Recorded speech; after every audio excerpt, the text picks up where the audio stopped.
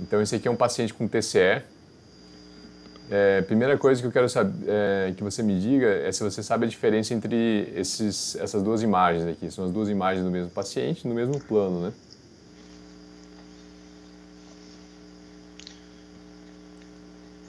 Não sei, parece que da direita está com uma definição melhor. Definição melhor, né? Tá. É... E você sabe por que estava com uma definição melhor? Porque tá na janela para osso? Ah, esse aqui tá com janela para osso também. Os dois estão janelados para visualizar melhor o osso, né? Assim seria Pode, uma, tá mais assim fino? seria um janelamento para partes moles. Assim tá janelado para osso. Entendi. Então a grande diferença entre as duas imagens é o filtro utilizado. Tá? Certo. Qual que é a diferença entre janelamento e filtro? A, você entender a diferença entre janelamento e filtro é muito importante para ter uma usar a técnica adequada, né, e para avaliar da forma mais precisa possível o exame de, de imagem, particularmente nesses casos de TCE, né, em que você, você precisa de uma resolução anatômica muito boa para de, detectar pequenas fraturas, principalmente aquelas sem desalinhamento, né, que pode ser muito difícil de ver, como é o caso dessa fratura aqui, ó. Tá pegando aqui o é, esfenóide, transição com porção escamosa do osso temporal, com extensão até o osso parietal. Tá? Entendi. É, então, tá. Então, as duas imagens estão janeladas para osso, mas elas estão com filtros, filtros diferentes. Essa imagem da direita, que você achou que está mais nítida, ela está mais nítida porque está com filtro para osso. E essa imagem aqui da esquerda, ela está com um filtro para partes moles. Ah, entendi. Tá. Aí, qual, então vamos lá, qual é a diferença? O filtro é uma coisa que você utiliza, é, você reconstrói a imagem no, no aparelho com o filtro que você selecionar que é o, pode ser filtro para partes moles ou tecido ósseo. Depois que você manda para o sistema, você não consegue mais editar o filtro. Você consegue daí janelar as imagens como eu estou fazendo aqui. Certo. Entendeu? Então vamos fazer uma analogia aqui com o filtro do, do Instagram. Né?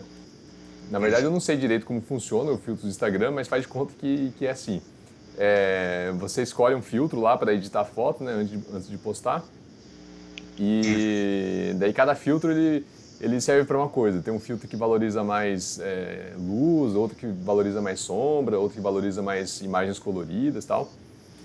E daí você aplica o filtro. Depois que você postou a imagem ou enviou aquela imagem para alguém, a pessoa que, rece que recebe a imagem, ela não consegue mexer naquele filtro, ela não consegue editar o filtro. O que ela consegue no máximo é mexer no brilho e contraste da imagem, é, assim como, como eu estou fazendo aqui no janelamento. Uhum. Entendeu? Então, assim, o filtro do, do, do, Instagram seria o filtro aqui na imagem de tomografia e o janelamento da, da tomografia seria como se fosse mexer no brilho e contraste da imagem é, depois da, da, da, aplicação do filtro. Certo. Conseguiu entender a analogia? Entendi. Né? Entendi. Então, assim, pra, então é muito importante que tenha um alinhamento muito bom com é, a equipe técnica que faz o exame e manda o exame para o sistema, né, para o PAX.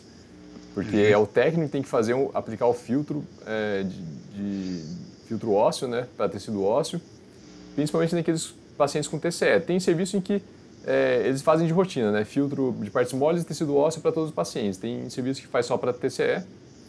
Então, o que, mas o que não pode faltar é o filtro ósseo para TCE, tá certo? Certo.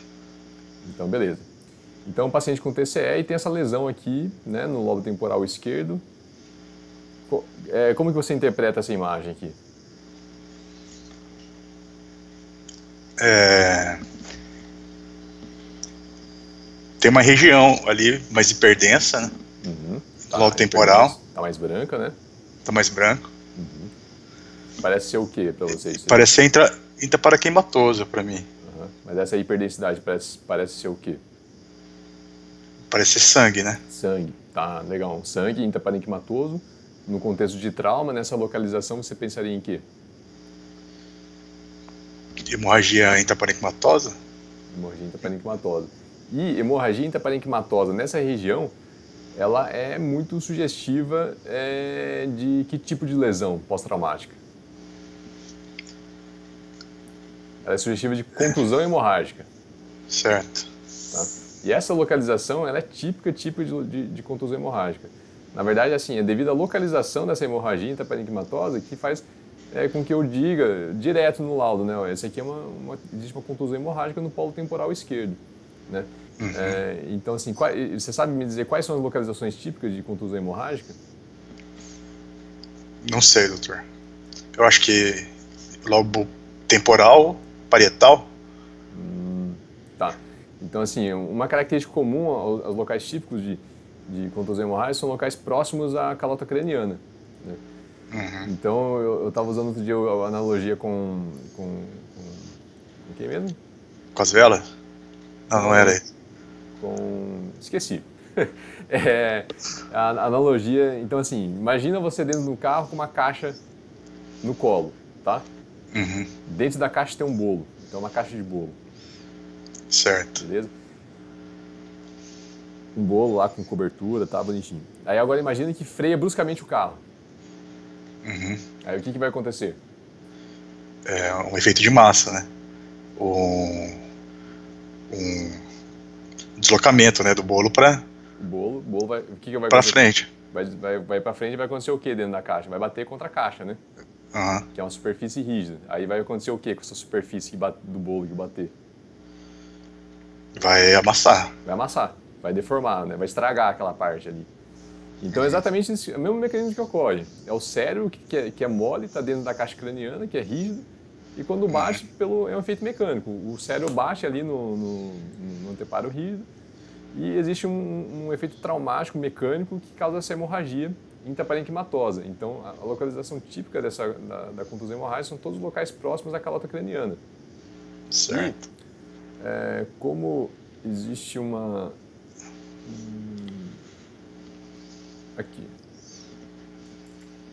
Né? Então, com, a reconstrução não está muito boa aqui, mas, enfim, é, dá para você ter uma noção. Aí, como a fossa craniana média, onde fica o lobo temporal, e a fossa craniana anterior tem muito contato né, com, com, com, o osso, o cérebro tem muito contato com o osso, e na maioria das vezes o trauma é, é frontal, né?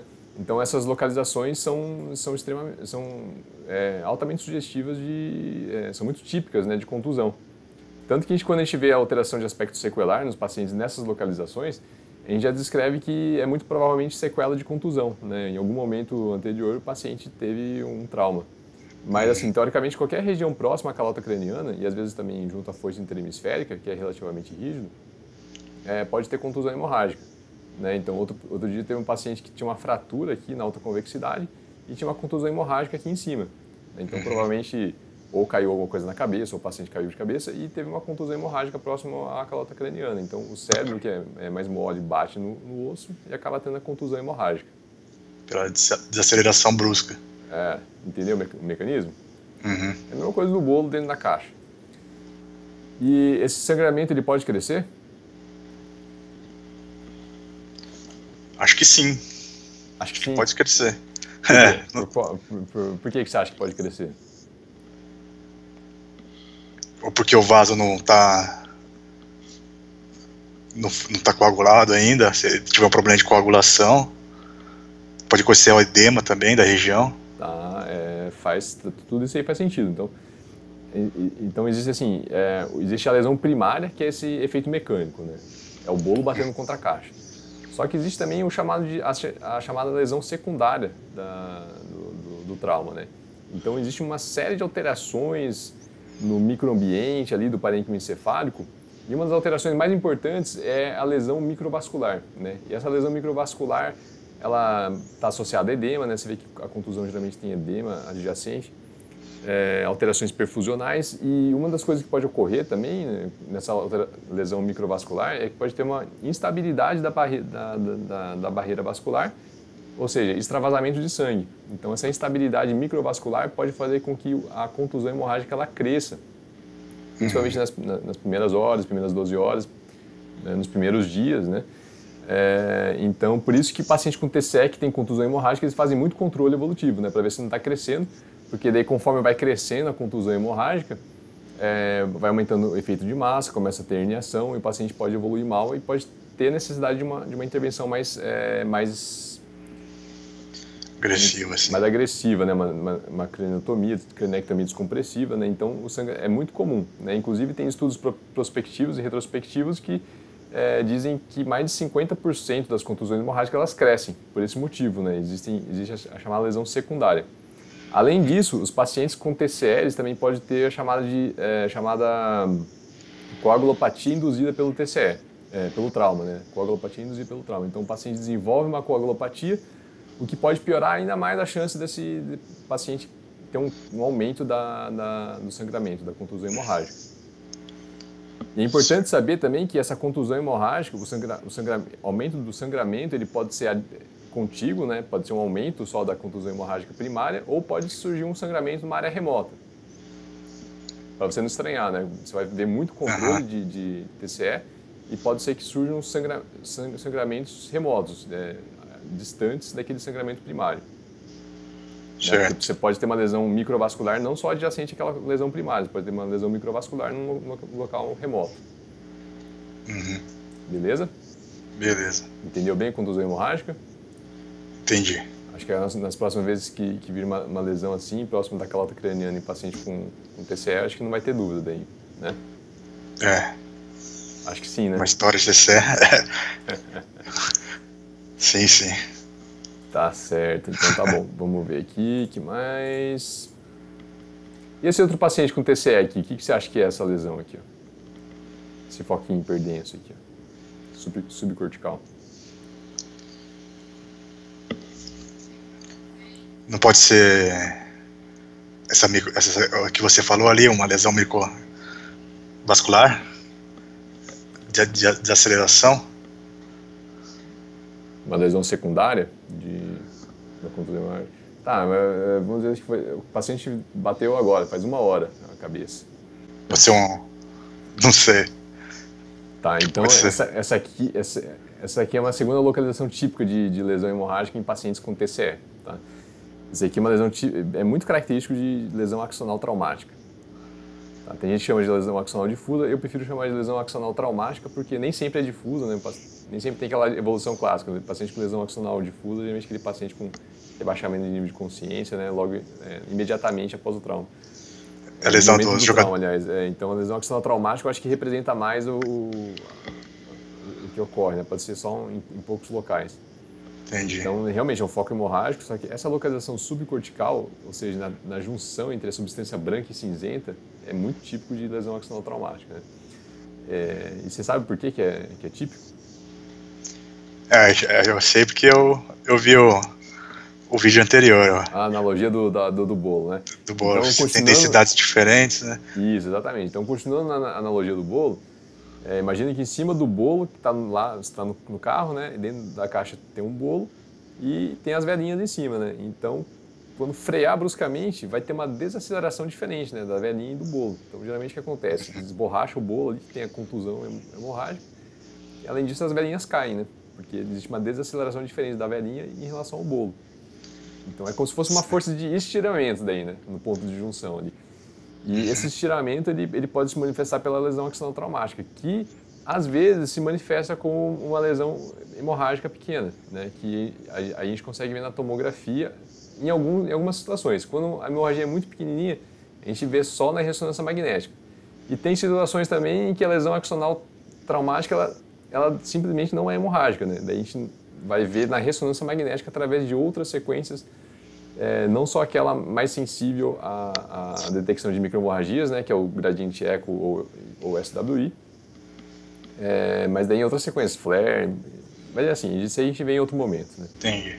Então, é importante se lembrar então que quando a gente vai identificar na tomografia, a gente vai ver pequenos focos hemorrágicos na junção. Né? Pode outros locais típicos também é corpo caloso, então junção córtico subcortical, local mais típico, depois corpo caloso e depois tronco encefálico. Né? E geralmente quando acomete corpo caloso, tronco encefálico, é, é, são graus mais acentuados de, é, de, de, de, gravidade. Né?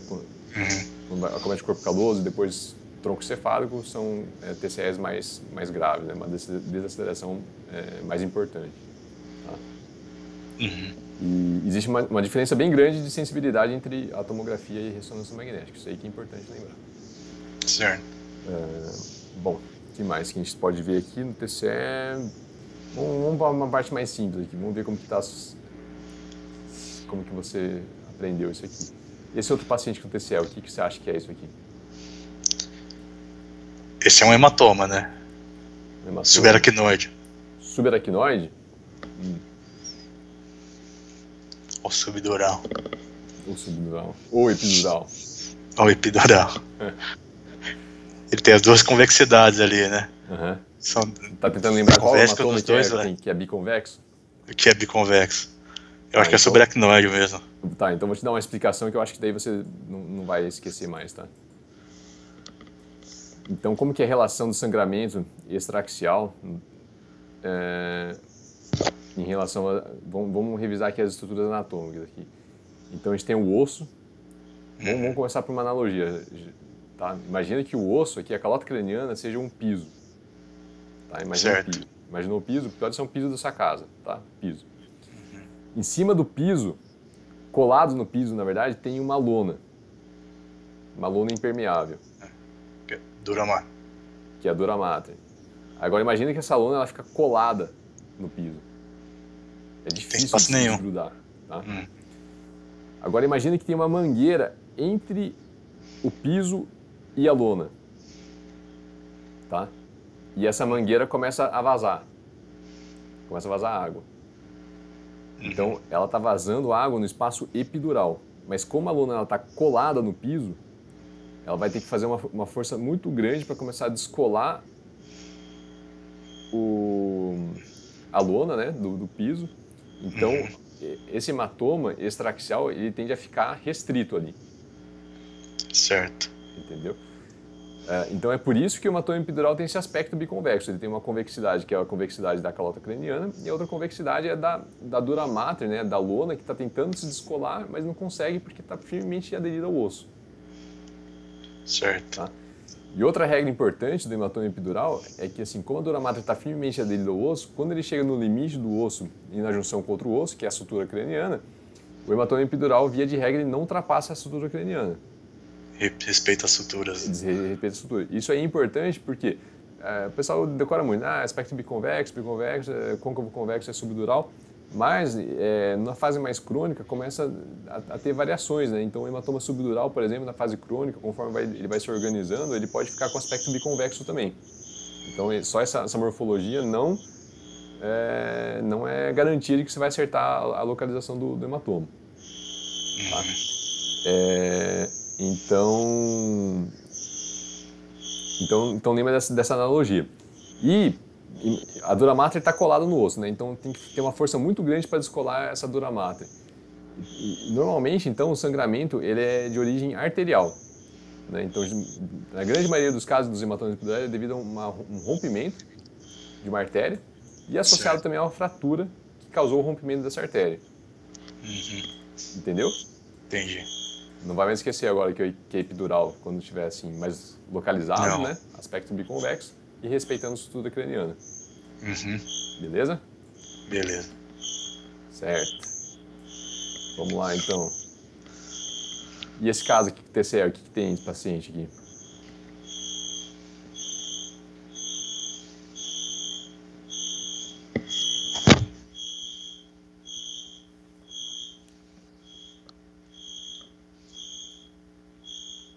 Tá difícil de ver? Dificuldade de ver. Difícil de ver, né? É, então, esse aqui é um, é um problema que ocorre. Acontecia mais antigamente, quando o, o- o médico tinha, tinha que avaliar na imagem impressa, né? Hoje em dia, acho que na maioria dos serviços, o, o radiologista, médico solicitante, ele avalia de- é, no computador, né? Mas é, antigamente ele recebia ou uma imagem assim ou uma imagem para osso, né? Ou ou uma imagem assim para osso. Certo. E, e não, enxer- não conseguia fazer janelamento para enxergar janelas intermediárias. Então, você, olha só, quando você faz uma janela intermediária, fica mais fácil de ver, né? Que existe um, um Ah, hematoma extraxial aqui. Descendo aqui, você consegue ver um hematoma mais fino aqui à direita também. Então, esse aqui é uma dica prática importante. Você tem que é, olhar no computador, né? O paciente com... com- Não só no TCE, né? Todo paciente com, com neuroimagem é bom avaliar no computador e trabalhar o janelamento. Não ficar usando janela automática só. Não, usar, tipo, não, não coloca numa janela de partes moles para parênquima e corre todo o exame e depois janela para osso e corre todo o exame, né? Tem que usar janelamentos intermediários também. É, Certo. então, quando você janela para partes moles, você vê que a calota craniana ela fica muito espessa, né? Tá, tá espessa mesmo. É, e daí você perde a definição de é, lesões mais finas, mais sutis, próximo à, à mesma. Então, quando você usa uma janela mais intermediária, que você consegue ver, diminuir a espessura da calota craniana e consegue enxergar pequenos hematomas. E esse hematoma aqui, ele, ele é epidural ou subdural? É, esse parece subdural. Subdural, né? Então, voltando àquela analogia do, do piso e da lona colada em cima, o hematoma subdural é um, hematoma, é um vazamento que ocorre na mangueira que está por cima da lona, né? Então, você imagina um, um, vazamento da, por cima da lona. Ele, o que acontece? A água espalha, se espalha livremente, né? Vai encharcar toda a sala, né? É. Então, esse, esse é o hematoma subdural. Ele se espalha livremente ali entre a, a superfície é, da convexidade cerebral e a, e a dura mater, né? Por isso que ele não fica restrito num, numa, em uma região igual ao hematoma epidural. Né? Certo. Então, é por isso que ele fica esse aspecto, ele, ele, costuma ser mais fino, né? ele se espalha livremente, e ao mesmo tempo ele respeita daí o que? Onde a, a dura mater vai fazer curvaturas, né? por exemplo, na força interhemisférica. Né? Aqui você vê que o hematoma ele, ele, ele dobra, ele faz uma curva aqui, né? ele acompanha a, a força interhemisférica. Então esse espessamento mais anterior aqui, ó, é porque tem um, uma extensão do hematoma subdural na força interhemisférica. Enquanto que se fosse um hematoma epidural, ele cruzaria a, a, a né, porque ele está acima, né, em, entre a dura mater e a calota craniana. É, né? Então, a, os, os, limites anatômicos são respeitados pelos hematomas é diferente. O hematoma epidural respeita as estruturas cranianas e o hematoma subdural ele, ele respeita as, a, as curvaturas aqui do, da, da dura mater, né? principalmente força interhemisférica e tentório. Então, geralmente, quando chega aqui embaixo, o hematoma subdural ele escorre e vai acompanhando o tentório. Então, é típico você ver um espessamento aqui, né, da, do, do, do tentório hiperdenso que corresponde a um hematoma subdural laminar. Certo. É bem comum. Entendeu, Fernando? Entendi. Conseguiu guardar bem os mecanismos, as diferenças entre os hematomas? Consegui. Ficou bom. Não vai esquecer mais? Não, fiquei não. Daqui então, por diante. Beleza, é isso aí.